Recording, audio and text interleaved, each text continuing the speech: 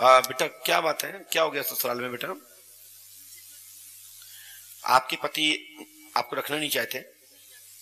फिर क्या दिक्कत होती है? घर के लोग तो नहीं विश्वास करते। पता नहीं है।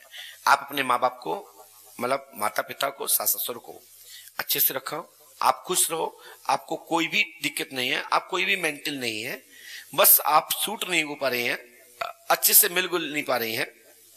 हमारा आशीर्वाद है कि आपके जीवन में किसी प्रकार की हानि नहीं होगी, दिक्कत नहीं होगी। बस पंडोकर धाम पाँच अवस्था करो, गुरु कृपा होगी, आशीर्वाद है। ठीक है? और आपको जो मैं क्रिया कर रहा हूँ, इसको कर लीजिए लीजिए।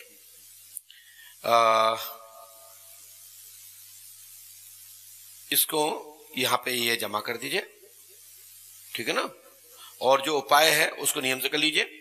जो भी बताएँ वो।